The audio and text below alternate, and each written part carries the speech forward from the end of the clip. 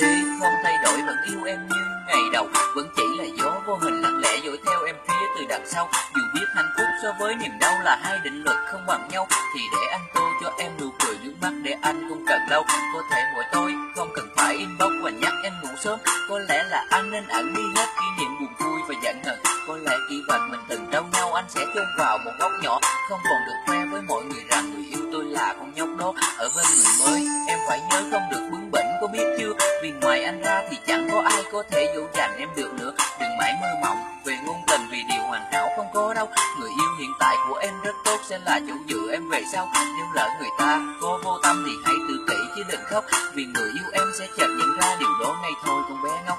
Còn anh thì chẳng thể làm được gì ngoài việc buồn cười từ phía xa. Vì trong mắt anh em là người yêu, còn trong mắt em anh là người lạ. Vẫn đằng sau, em đó thôi là do em chưa hề quay lưng. Anh phải chắc rằng em được hạnh phúc đến lúc kết thúc, anh sẽ dừng anh vẫn sau. Em đó thôi, vẫn gọi tên em trong bóng tối. Khi thấy em khóc vì người ta bản thân anh đau chịu không nổi. Anh vẫn đằng sau. Em đó thôi, đợi đến một ngày ta ngược lối. Đó cũng là lúc anh đã quên em, mình là người yêu cũ được rồi.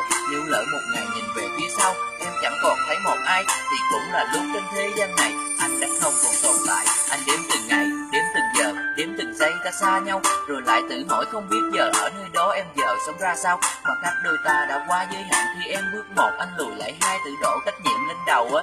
Chứ đầu muốn nói là lỗi tại ai đâu, phải tình yêu nào cũng cho đi cũng đến lúc sẽ nhận lại. Và điều anh nhận là phải đối mặt với việc mất em đến mãi mãi, là anh không tốt. Chỉ biết nhường hạnh phúc của em cho người khác, để rồi tự đưa mình về vị trí người ở phía sau rồi cười nhạt. Sao mọi chuyện, anh vẫn vậy, chỉ có lòng người là đã thay. Hy vọng của anh giờ đã vụt ơi con nhiều bị em thả tay. Sau mọi chuyện thì cuối cùng anh vẫn đằng sau em đó thôi. Anh vẫn như vậy, không đổi, không thay, nhìn em và người ấy có đôi. Sau mọi chuyện chỉ cần thấy em được hạnh phúc đã mãn nguyện. Chuyện tình của em là nhân vật chính còn anh trở về với phản diện.